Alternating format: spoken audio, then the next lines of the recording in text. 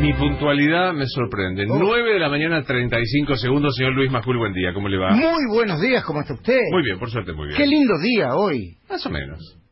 Sí, Qué feo día hoy. No, a mí me encanta, es Ah, un hermoso día. Parece Walter Nelson, ¿eh? una de fútbol, eh, gran pelea la de Coto el otro día, una de boxeo, River y Boca, paren chicos, Por- pónganse de acuerdo con la vida, con la realidad. A mí me ¿Cómo es parece la vida? ¿Usted está en condición de explicarme la vida y la realidad? Hoy tengo un día Contreras, le aviso. No, me No. lleve- no me lleve- no me tenga en No me cuenta, pero tengo un día Contreras. Eh, Viento norte hoy. Sí. No, ¿Hay viento norte? Viento norte hoy. Ah, con razón. Y así como decían en mi casa. Sí. Ángela sí que amaba. Ah, De No. modo. Ah, claro. Culpa de la pesada herencia. ¿Y Claro. ¿Cómo? Culpa de la pesada herencia del viento norte. ¿Cómo le va, presidente? ¿Le puedo hacer dos o tres preguntitas? La, que- la, que- la que quieras, Luis. ¿Cómo lo perjudicaron a los jubilados, eh? La verdad que... La verdad que es una, una, una- pregunta que... es- ¿Cómo? Hay, hay que tener más tiempo para Sí, contestar. sí, sí. Eh, ¿Vio que el plan de Los devolución jubilados del pierden plata, pero no poder Sí, adquisitivo. sí, no, eso dijo Antonio. ¿Le dio usted la letra, presidente? Bueno, la verdad que- El plan de devolución del IVA no funciona y los jubilados se pierden 15 mil millones de pesos. Y nos decían que quisieran a perder mucho más. ¿Cómo, presidente? Nos decían que quisieran Sí. a perder mucho más y solamente 15 mil millones. Sí, otra cosa le quiero preguntar, presidente. Es un número. Sí. El ministro de Defensa que ayer habló con el señor Joaquín Morales Solá, sus explicaciones fueron, la verdad, que bastante pobres. Espere que Walter Nelson viene de otro planeta, presidente, y no... no... ¡Gracias! Justo te metiste, Walter. Ah, sí. No, bastante pobres. ¿Qué tiene para decir, señor presidente? Bueno, la verdad que solamente quiero decir algo. Mm. Luis, Sí. ¿En qué ¿A te has Luis? convertido? ¿Qué, no, ¿qué tiene que ver eso? ¿En qué se ha convertido? No me, uy, ¿en qué se ha convertido? Me acuerdo, me, me hizo acordar a Scioli. Che, ¿qué es de la vida de Scioli? ¿Alguien sabe? Esperanza, con alegría, con fe. Eh, ¿Cómo? Con esperanza, con alegría, con fe. ¿Qué haces? ¿Cómo andás? ¿Va a asumir? Y vamos a asumir, sí. Tiene una causa abierta, importante en la provincia de Como dice el. Papa Francisco, con fe, con alegría, con Ah. esperanza. Acá estamos. Ah, y está el Papa también. ¿Cómo le va, Francisco? ¿Cómo estás, Luisito? Está también el otro Luis, Luis Esteban. Luis Pero Esteban. está enojado y está con viento norte. Estás comiendo... Y sí. Estoy perfecto. Tengo un día Hay que contrariado. fumar, pero también. Claro, eh, claro. Recién- ¿Cómo es que fuma? ¿Qué me dice, Francisco? Rezo por ustedes Sí. dos, que hagan un gran pase. Bien, bien San Lorenzo, ¿eh? Dale, dale, San Lorenzo. Sí. Estamos punteros. bueno. Sí, sí. ¿Firmó el Pampaviallo? ¿Le gusta el Pampa? Sí, Mm. sí, la mano. Del Pampaviallo, todo da vuelta, vamos. No. ¿Firmó o no firmó el Pampaviallo? No, no, está por firmar esta semana, ¿Y qué carajo espera? ¡Eh, eh! Discúlpeme, su santidad. Eh, ¿Va a venir a la Argentina? Sí, sí, lo voy, Luis. Me tiene rato lo voy. No, conteste usted, hágase, hágase cajar. No hay espacio en la agenda, Luisito. No hay, No hay espacio. espacio. No hay espacio en la agenda. Gracias. Voy a Chile, estamos cerca. Dígame, Tomate ¿sabe- un avión, comprate un No, plato. está bien, está bien. ¿Sabe, sabe, sí. ¿Sabe dónde vas eh, a pasar sus vacaciones usted, Francisco? Dios dirá. En Castel Gandolfo va siempre el, el Papa. Un lugar hermosísimo que se come Dios la mejor dirá. polenta del planeta. Ah, me me Explícame por qué fui a Castel Gandolfo y fui a comer polenta. Pero sí, es un lugar hermosísimo, la residencia donde está ahora Benedicto. Quiero- vas polenta, ¿no? Eh, eh, Obvio, no hay, no hay comida más rica que la polenta, sépalo. Ahí Con queso, con queso. sí.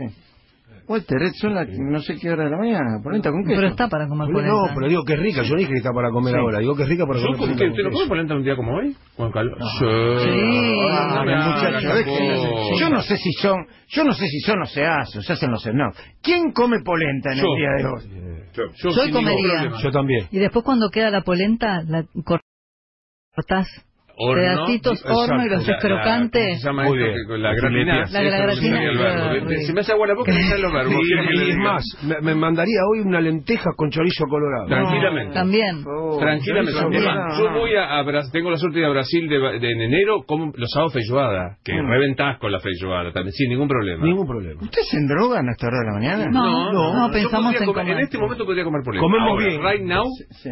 a mí me traes Sí. polenta con queso, Sí, sin claro. salsa, podría presentar la gente rara que se levanta a las 4 de la mañana, no. como yo hace muchos años. Decía, uy, que van a comer un bife con papa frita. Me decía, no, Es que a esta hora su organismo ya estaría como para Sí, almorzar. claro, claro, claro. Aparte la lenteja es hierro. Sí, claro. sí. Hoy estás, hoy Walter estás intenso, ¿eh? Ah. Walter en los cortos, no solamente, te habla sin repetir y sin soplar. Todo muy lindo, ¿no? De su nietita, de la última pelea que dio. Y te toca. Sí, y te toca, Te toca. te Al toca. lado de- Y te empieza a relacionar un dato con el otro y dice, no, vos le nombrás, qué sé yo, no sé, a, a- a- el Pato Mucio. Ah, sí, vivía en Ballestera, cuatro cuadras, mi sobrino. que- ¿Y qué importa eso? ¿Qué le importa ese dato? Y simultáneamente abre el locutorio. Mauricio, soy periodista. ¿Y qué tiene que ver? Pero le voy a decir que hoy, como tengo un día contrera, si habla porque habla, si no habla porque ¿Viste? no habla. ¿Viste? No hay, no hay, no hay, no hay posición que le venga bien. Ah, No hay pedazo que le venga. no, no, no, no, no, no. sí quería decir, te lo perdí, no me salía. Coco, Coco de Palermo. Sí. Bien, Coco, ¿eh? Cors, tirame talco. Sí. Cuando se mejore Claudito Rico, eh, viene con Le Guillermo, con un todo. abrazo, estamos... Todos. ¿Suspendemos la colecta? De- para- haciendo para- la para- corona, estamos haciendo... No, No. Parece que no corresponde, no No, corresponde. Ya cada vez mejor. Sigamos con la polenta, Devolveme la plata, Machiavelli. No, No, la necrológica está escribiendo Noriega. Claro. Escúcheme, Luis Esteban. Le voy a hacer una preguntita. Y si Mm. usted quiere la hago extensiva a toda la mesa. Pero dígame, sin repetir y sin soplar, lo primero que piensa... No, Ah. Ah, lo primero que piensa sobre el acampe de los referentes sociales que están pidiendo nuevos planes, trabajar o como se llamen, aumento para la asignación por hijo, etcétera, etcétera, etcétera. Lo escuché, ¿no? Hablando Yo con una tengo- referente de la mañana. Eh, Hablamos con el fiscal Sebasco, hablamos con el secretario de Alessandro. Esto es una posición tomada hace muchísimo tiempo con- con el tema de los cortes, que sé que es antipática, pero es lo que sostengo. No hay una cuestión de un marco social para cortar la avenida 9 de julio, sino ante una situación desesperada y dramática que no puede evitarse de otra forma. Y esto no es el caso. Última, como última salida. No, no, yo no, yo no creo que, digamos, creo que en algún momento debe encauzarse dentro de la norma lo que es eh, la circulación. La Ahora, verdad el fiscal Sebasco dice que es un... Yo lo escuché decir que es un problema político, hace un ratito acá en su programa. Sí, la verdad que hoy también se vio cómo es yo, señor, no señor, el gran bonete. El secretario de Seguridad dijo, no, habiendo niños y mujeres tenemos que consultar con el fiscal. El fiscal Sebasco dijo, no, esto es una responsabilidad de la policía. Ahora se ha levantado porque algo ha sucedido, pero vuelve. Mañana hay marcha y el 26 vuelven otra vez al, al acampe. También sería interesante que los funcionarios políticos bajaran de sus despachos y negociaran. Ahora, para mí el corte como reclamo, este, como se conoció en el 2001, eh, es a destiempo y no, no debe ser permitido. Mm. ¿Tiene algo para decir, Noriega? No, no, me parece que es una modalidad de protesta que ya no, no tiene buena llegada a la sociedad de ninguna manera. Pero recordemos cuando decimos esto que la aplicación de la ley implica un cierto uso de la fuerza. de la fuerza pública. Toda la razón y nosotros hemos sido muy demagógicos durante mucho tiempo con el tema. Me hago cargo primero Sí, sí, Pero espera, ahora, ¿sabes lo que pasa con el tema de la fuerza pública? Porque yo también creo que hay que llamar a la fuerza pública para que los limite y los detenga. Que un policía le, le pega un, un, no sé, un cachiporrazo, discúlpenme, ¿por qué armas tienen para estos casos, Hugo? Sí, eh, bueno, falta la, la famosa pistola Taser, que es, Mm. una- es un elemento eh, disuasorio, pero hay básicamente los palos de la policía. Pero digo, ¿por qué no se Espera, espera, espera, espera. Sí. Si un policía le pega un cachiporrazo, salta medio país virtual a decir que es represión indiscriminada. ¿No, Luis? Entonces es complicado. Yo comparto con lo, en, en una de las cosas que comparto con el presidente, no sobre lo que él quiere hacer, sino lo- sobre lo que está pasando es el tema de la cultura un poco hipócrita de los argentinos, ¿no? No quiere, eh, eh, cada uno tiene su propio derecho. El, el tachero, el automovilista que está ahí, el laburante, y está bien que le interrumpen el tránsito, le quitan un derecho, pero cuando la policía acciona y por ahí lastima a alguien, ¿no? Lastima a alguien, apenas se arma un escándalo y terminamos todos en Plaza de Mayo, ¿no? Entonces, por supuesto que a mí me... me ¿Me preguntas todos? ¿O los que se hacen bueno, ver? no, no sé si... Porque, o sea, el, no, el no. mundo virtual, ¿no? O sea, a mí me parece que también nosotros estamos muy tomados este por por este un, por un- una falsa mayoría o una minoría muy ruidosa. Sí, sí. Ayer lo comenté y eh, espero poder entrevistarlo. No lo conozco, a un especialista en redes que se llama Luciano Galup. Mirá qué casualidad hablar sobre este. Y él hizo un análisis, porque los otros días estuvo Ernesto Tenemos en el programa de Mirta Legrand, discutiendo con la Sí, vicepresidenta. sí, la lo vi. lo- bueno, vi lo, lo- no vi el programa, vi el- las Fue réplicas. trending topic por el tema mapuche y demás y lo, lo mataban. Eh, Galup se dedicó a analizar y descubrió, por ejemplo, que amas de casas y, y jubilados indignados con este con Tenenbaum mandaban un tuit cada 45 segundos. Eso se parece más a un troll y a un bot que otra cosa. Claro. Entonces digo, pero claro, vos decís, ya sabemos que hay troll y hay bots. ¿Cuál es el efecto que genera? ¿Opinión? No, lo que genera también es una suerte de quiebre emocional en el periodista que mira eso. Porque vos empezás, la, la verdad es que no, no te la llevas de arriba si no estás sumamente entero con, con lo que vos pensás. Si, che, me están matando por este lado, y de alguna manera torcés o, o, o, este, emprolijás tu opinión. Entonces me parece que eh, yo creo que hoy... Yo te digo cómo funciona. Yo reconozco que me puedo equivocar y puedo tener dudas en muchas cosas. Y no, y puede ser que el contexto y el hecho en sí me haga eh, mirar las cosas de una manera o no, como cualquiera le pasa. Eso sucede, Luis. Eso somos humanos, ¿no? La perspectiva de un de un periodista casi robot que es sumamente este eh, eh, puro en, en sus en sus posiciones y en su y en, y en sus argumentos no existe. ¿eh? Todos somos humanos y nos equivocamos. También es cierto que una cosa es eso y otra cosa que uno se deje correr por cuatro o cinco trolls. Cuatro o cinco, perdón. O, o los que pueda producir un robot. No sé cuántos trolls puede producir al mismo tiempo. Infinitos. Bueno. Digo, eh, a mí eso no me a mí eso no, no me molesta. Yo, por ejemplo, ¿qué pienso eh, sobre la CAMPE? Que pienso que es un método extorsivo.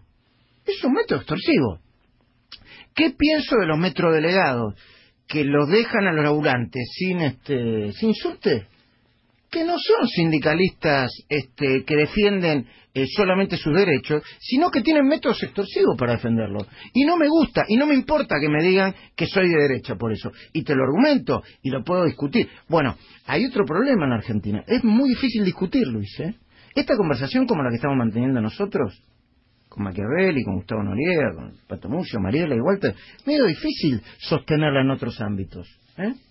Sí, hay que darle esas discusiones. Digamos, yo creo que cuando uno se baja de, de- de la posición dogmática, y la verdad que abre la posibilidad de escuchar a otro con la convicción de que tiene una parte de la razón y que tiene algo interesante para aportar, fluye más nor- naturalmente la, la- la conversación. ¿Qué sé yo? No sé. Este, Y después exigirle a los funcionarios lo que hay que exigirle. Yo al ministro Aguad, de verdad, esperé que hablara para eh, empezar a entender qué es lo que estaba haciendo. Ayer con Joaquín Morales Solán, para mí resultaron muy insuficientes las explicaciones. ¿Vos, la- vos escuchaste algo? No solo escuché, lo vi. Ah. Este, yo vengo pidiendo su renuncia desde el día 2, 3. Muy insuficiente. Este, lamento haber tenido la razón. Ayer eh, evité hacer el comentario porque hoy salió uno de los familiares y me pareció que era el, el modo más, más prístino y más claro de hablarle al ministro Aguad. Eh, yo ayer tuve cierta vergüenza ajena escuchándolo a Aguad. Hablar de el agua que entra por el que iba a parar un bidón, comparar el submarino con un auto y el kilometraje. Era como si estuviera hablando yo, que no sé nada. Soy- yo soy un ignorante profundo de submarino. Claro, jamás aceptaría ser ministro de Defensa. Nadie puede alegar su propia torpeza. Y el día que dijo sí juro, Oscar Aguad asumió como un ministro que técnicamente debe asesorar al presidente. Si no puede hacerlo, solo le queda una opción. Yo la verdad que no sé si debe renunciar, no, no lo sé, o si ya tendría que haber renunciado. Tampoco sé por qué hay dos bibliotecas en este sentido, mira que yo lo he indagado, hay quienes dicen que todos los ministros de defensa del mundo serios vienen del ámbito militar, vienen del ámbito militar, en los Estados Unidos, en Canadá, en Francia, no lo sé, no lo tengo estudiado. ¿Viste? Cuando uno no sabe, no sabe. Tampoco sé si cada ministro debe saber hasta el último dato. Sí sé, porque ahora escuché al ministro, que evidentemente se enteró no sé cuánto tiempo tarde de lo que le había pasado al submarino. Que todavía me sigue quedando la duda de si se hubiera enterado antes, no pudieron haber evitado algo que evidentemente sucedió. No lo sé porque no estoy metido ni dentro del submarino ni de la técnica. Sí sé que son insuficientes las explicaciones. Sí sé que me dio, como a vos, la sensación de que estaba hablando cualquiera de nosotros, ¿no? Gustavo Noriega, Hugo Machiavelli, como, como si fuera un comentarista. Con un agravante, no puso nunca la cara, sino tarde, ante los familiares. No pueden enterarse los familiares por un programa de Morales Solá antes que con ellos. Durante- No, bueno, fue a verlo a los familiares y no. Después de 15 días. Sí, claro. Es cierto, fue a verlo después de 15 días. Sí, sí. Ah, no, no, yo. Y en todo caso resulta insuficiente. Y hay que empezar a hablar, no empezar a hablar, hablar como corresponde de todos los errores de este gobierno. Ahora que está en el pico de las encuestas, ahora que le va bien, ahora que parece que tiene el camino despejado para hacer muchas cosas, ahora hay que empezar a seguir con detenimiento todas las políticas del gobierno, la política económica, las políticas previsionales, las políticas vinculadas con la educación, con la educación, que se llenan la boca diciendo que es el gran motor de la economía mundial, y yo quiero ver cuáles son las reformas en educación, y también en el ámbito de la justicia. ¿Y por qué? Y termino con esto antes de que te vayas a dormir un simo, si es que te vas a dormir, eh, Luis Nores. ¿Y por qué? Porque yo ya no sé, eh, eh, en el tema Moyano, yo ya no sé si Moyano puede ir preso o no puede ir preso, si la lectura de que puede ir preso o no, en realidad está influyendo sobre sus posiciones vinculadas con la reforma jubilatoria y la reforma laboral, si es dueño de OCA o no es dueño de OCA, y ya sé que el gobierno eh, te va a decir, dejen actuar a la justicia. Bueno, pero la justicia para actuar está esperando en este momento. Hay un montón de jueces y fiscales que están esperando en este momento si Macri estornuda, respira de una manera, o mira de costado o mira de frente. Entonces ya como país, me parece que seguimos siendo una república bananera. Porque no están decidiendo. A ver, hace tiempo que Moyano tiene causas abiertas, tiene problemas. Que es cierto que todo el mundo sospecha que está vinculado con OCA porque no se entiende cómo OCA, perdón por los trabajadores, ¿eh? todavía sigue en pie con la enorme deuda fiscal que tiene.